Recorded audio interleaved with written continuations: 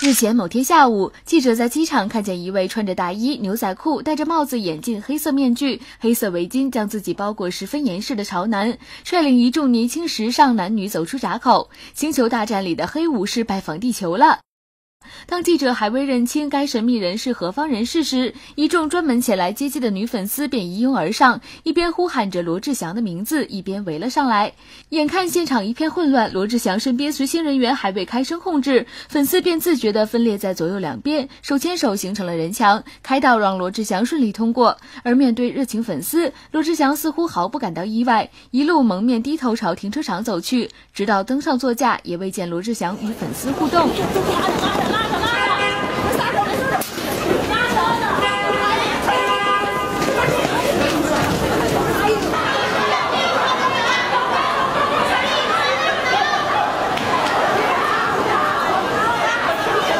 这里是搜狐视频娱乐播报独家报道。